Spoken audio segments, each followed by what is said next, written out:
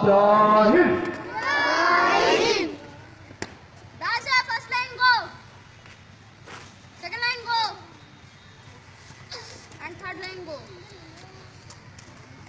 এখন আমরা আবার মাল্যদান পর্ব শুরু করছি এখন আমাদের শহীদ মাল্যদান করবেন আমাদের শিশু বিকাশ একাডেমির মাননীয় প্রধান শিক্ষক